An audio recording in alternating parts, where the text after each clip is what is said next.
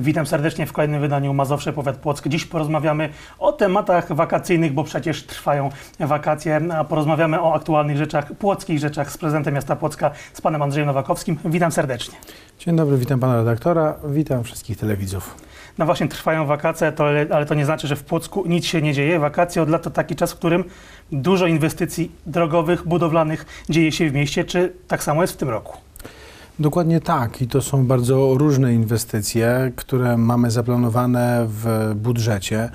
E, przetargi w zdecydowanej większości zostały rozstrzygnięte bez względu na to, że no, jesteśmy cały czas w okresie pandemii, jednak inwestycje realizujemy. To jest także nasz e, także samorządowy, nie powiem tylko płocki, ale samorządowy sposób na e, koronawirusa. E, nie chcemy, żeby także i z tego powodu e, firmy ucierpiały, bo wtedy ucierpią również pracownicy, a więc będziemy pogłębiali ten element kryzysu, który niestety wiele branż, niezależnie od samorządu, po prostu dotknął. Tak jak dotknięte zostały branża turystyczna, gastronomiczna, szkoleniowa. Nie chcemy, żeby pozostałe branże związane z rozwojem miasta dotknął taki kryzys. Wobec tego od samego początku zakładaliśmy, że będziemy ogłaszać przetargi, rozstrzygać je y, i realizować poszczególne inwestycje, które chcemy realizować i to widać. Y, część przynajmniej z nich, tych drogowych, jest y, widoczna. Niektóre wchodzą w fazę takiej no, realizacji, która utrudnia nam e, funkcjonowanie bieżące i życie. Przez najbliższe kilka tygodni trzeba liczyć się na przykład z utrudnieniami e, przy, mm, przy budowie ronda e, obok wiaduktu, który też jest zbudowany do ogrodu zoologicznego. W efekcie mostówka zamknięta i poranne korki, które tworzą się od strony Radziwia, nie ułatwiają nam życia, ale tylko do momentu, kiedy powstanie e, rondo przy zoo i wówczas będziemy mogli bezpiecznie, spokojnie już jeździć tą drogą. Ale te kilka tygodni niestety będą to utrudnienia.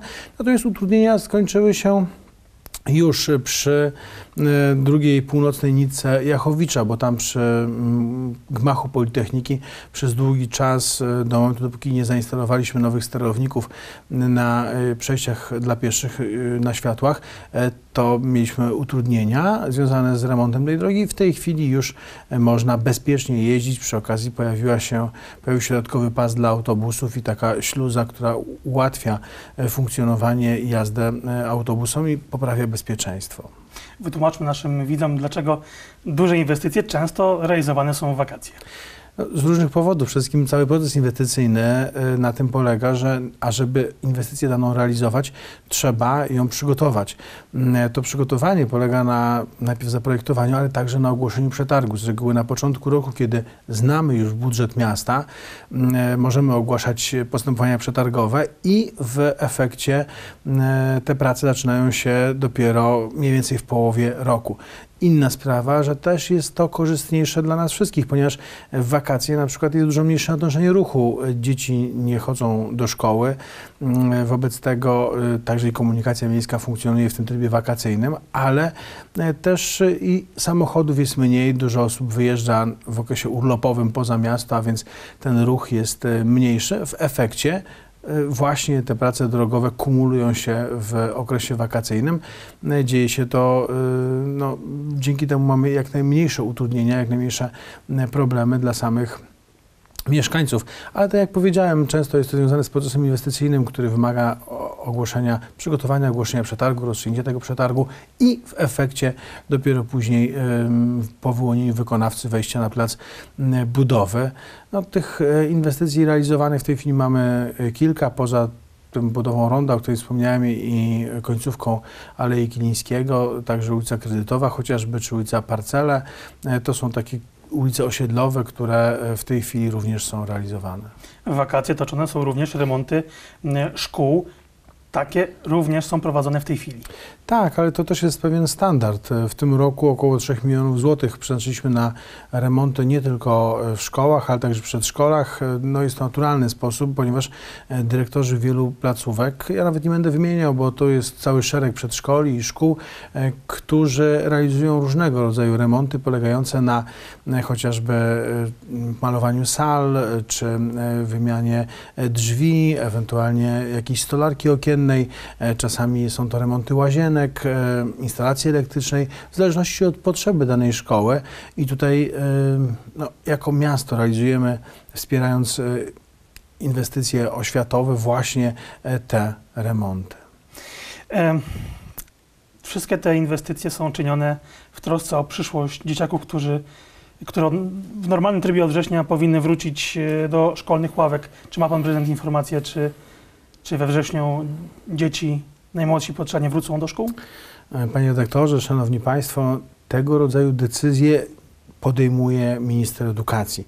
E, jako samorząd muszę powiedzieć, że często byliśmy zaskakiwani przez e, ministerstwo, czy edukacji, czy każde inne, działaniami rządu w kontekście para, pandemii i koronawirusa. E, nie zawsze były to dla mnie, jako dla prezydenta, zrozumiałe działania, choć mam świadomość, że wynikały pewnie z lęku, obaw e, i e, troski. troski, bo sami wszyscy nie wiedzieliśmy, jak ta pandemia będzie przebiegała. I tutaj, zwłaszcza na początku, kiedy te obrazy z Włoch, z Hiszpanii do nas docierały, no, no, staraliśmy się tego uniknąć. Natomiast niektóre decyzje, na przykład zamykanie lasów, terenów zielonych, parków, były dla mnie totalnie niezrozumiałe. E, przez długi czas na przykład e, do zonie mogliśmy wchodzić, ponieważ e, decyzją ministerstwa były zamknięte ogrody zoologiczne, a już na przykład można było korzystać spokojnie, bez żadnych ograniczeń, chociażby z galerii, i nie mam tu na myśli galerii sztuki, ale galerii handlowe, a do zoo nie można było wejść. Całe szczęście w tym chaosie ktoś poszedł po do głowy, odmroził także ogrody zoologiczne i dzisiaj zapraszam i pana redaktora i naszych telewidzów do odwiedzin naszego pięknego ogrodu zoologicznego w Płocku. Natomiast y, w przypadku szkół no, decyzja o e, zamknięciu szkół to jeden element, decyzja o odmrożeniu na przykład przedszkoli i żłobków w pewnym momencie, a jeszcze nie odmrożeniu w ogóle szkół, albo przynajmniej tylko odmrożeniu na zasadzie tych zajęć opiekuńczych w klasach 1-3, e, była po pierwsze niekonsultowana z samorządami. To jest niezrozumiałe zupełnie. Nikt nas nie pytał, czy jesteśmy przygotowani, w jakiej formule, bo przecież trzeba było zapewnić przede wszystkim środki ochrony osobistej, nie tylko dla uczniów, ale także dla nauczycieli. Wiadomo, że zachowanie reżimu sanitarnego w przypadku przedszkolaków w ogóle o tym nie ma co mówić, bo to się nie zdarza. E, dzieci bawią się ze sobą e, i tutaj nie jakikolwiek to, tak. odstęp e, półtora czy dwumetrowy nie wchodzi w grę. Więc no, myśmy to przyjęli ze zrozumieniem, tą decyzję, bo wiadomo, że chodziło o odmrożenie gospodarki, a rodzice dzieci muszą iść do pracy w tym momencie. Natomiast poradziliśmy sobie z tym jako samorząd i my jako samorząd jesteśmy przygotowani, ale ta decyzja po prostu musi być podjęta na szczeblu rządowym. Na dzisiaj sądzę, że będzie podjęta, bo pomimo to, że mm, pandemia w Polsce cały czas jest na tym samym poziomie, proszę zwrócić uwagę, że e, dzisiaj, kiedy rozmawiamy, to cały czas jest około 300, 200, 300, czasami 400 e, przypadków zachorowań dziennie. To się nie zmienia od tygodni, a pomimo to mm, musiała być podjęta decyzja o odmrożeniu gospodarki. Pytanie dzisiaj, czy zasadna była decyzja o zamrożeniu?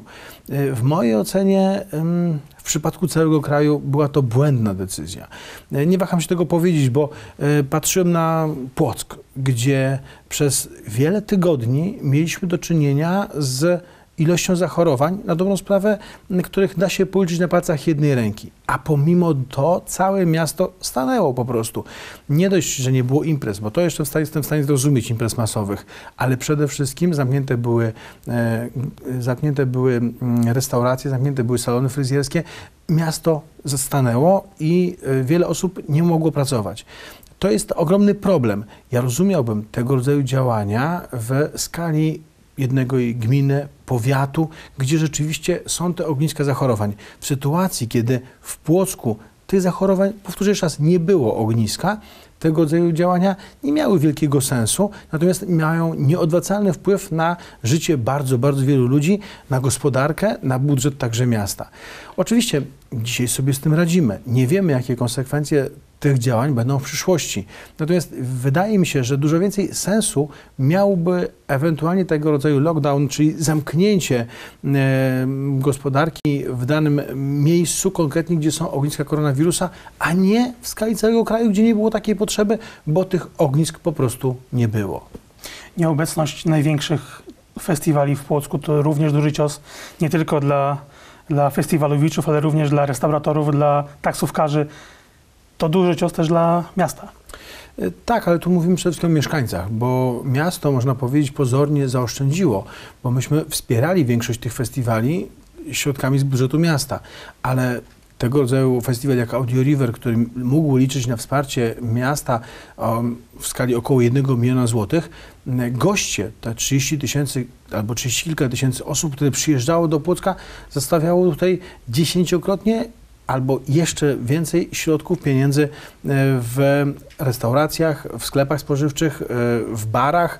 E, Po prostu miasto odrabiało straty właściwie z całej zimy, można powiedzieć, kiedy trochę ta branża turystyczno-restauratorska trwa w uśpieniu. Natomiast no, niestety to tego się nie da już w tym momencie odwrócić. Trzeba myśleć optymistycznie o przyszłości. Natomiast na dzisiaj no, niestety nie wiemy, jakie mogą być e, konsekwencje.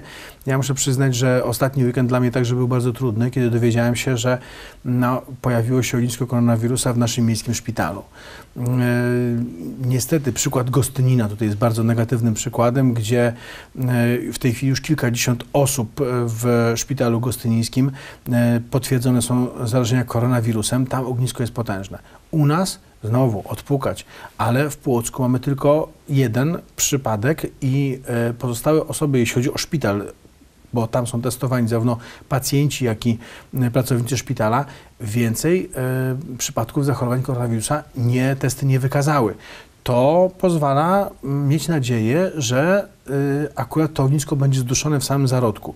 Natomiast no, nie możemy przewidzieć, jak potoczyłby się scenariusz, gdyby okazało się, że jednak tych e, przypadków zarażeń jest więcej.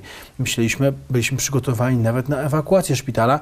Byłem w bezpośrednim kontakcie z wojewodą, bo w takich sytuacjach trzeba podejmować decyzje bardzo szybko, bardzo sprawnie. Na ten moment e, jedyna konsekwencja, choć też bardzo poważna, to oczywiście odwołanie zabiegów planowych, brak przyjęć do naszego szpitala i kilko, kilkadziesiąt, ponad 30 e, osób, pracowników szpitala na kwarantannie. Ale szpital dalej normalnie funkcjonuje i osoby, które e, przejdą testy, będą te testy ujemne i minie ten okres, mm, e, kiedy wirus potencjalnie mógłby się wylęgać i będzie kolejny ujemny test, po prostu pracownicy, lekarze, pielęgniarki będą do szpitala normalnie wracali i szpital będzie wracał do normalnego funkcjonowania, bo nie jesteśmy w stanie przewidzieć, kiedy, w którym momencie i gdzie pojawi się kolejne ognisko koronawirusa. I dopiero wtedy trzeba tak naprawdę bardzo poważnie e, reagować, izolując właśnie osoby i chore, i te z pierwszego kontaktu. Na koniec zmieńmy temat na mm, taki bardziej przyjemny, wakacyjny, choć nie tylko. Do 26 lipca trwają zgłoszenia do tegorocznej edycji budżetu obywatelskiego. Jakie projekty widziałby prezydent miasta najbardziej? Każdy projekt, który zgłoszą mieszkańcy, jest bardzo cenny. Tutaj mm, to nie jest tak, że prezydent wymyśla projekty i w tym momencie one są realizowane. Nie. To właśnie na tym to polega, że mieszkańcy wskazują, że tu potrzebują placu zabaw, e, tu potrzebują kawałka fragmentu drogi rowerowej, e, czy też e, są także projekty miękkie, które stawiają na sport, ewentualnie kulturę, czy na praktyki prozdrowotne. Warto rzeczywiście w mojej ocenie tego rodzaju projekty składać, a później starać się, by zostały wybrane. To jest ponad 5 milionów złotych do dyspozycji mieszkańców Płocka, więc zachęcam w tych ostatnich dniach jeszcze do aktywności, do złożenia projektów, e, które później będą poddane mm, pod e, głosowanie i sami mieszkańcy wybiorą, które z tych projektów chcą, żeby były realizowane. E, Dzięki temu mm, po prostu miasto jest coraz piękniejsze, coraz bardziej zielone, e, coraz więcej jest także mm, placów zabaw w tych miejscach, które oczekują mieszkańcy. To na koniec daty do 26 możemy zgłaszać e, projekty. Kiedy głosowanie? Głosowanie będzie mm, e, no, po wakacjach, żebyśmy wszyscy mogli już e, wrócić, bo pamiętajmy, że jeszcze po e, 26 lipca.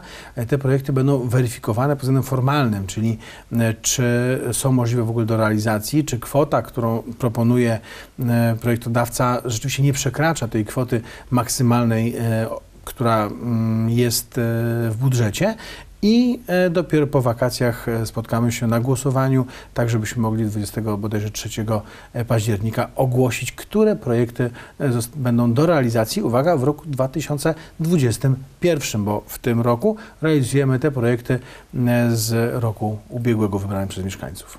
Do tematu budżetu obywatelskiego oczywiście będziemy na naszej antenie, e, na naszej wizji e, wracać wielokrotnie, a ja dziękuję bardzo za rozmowę. Dziękuję bardzo, do zobaczenia. Thank you.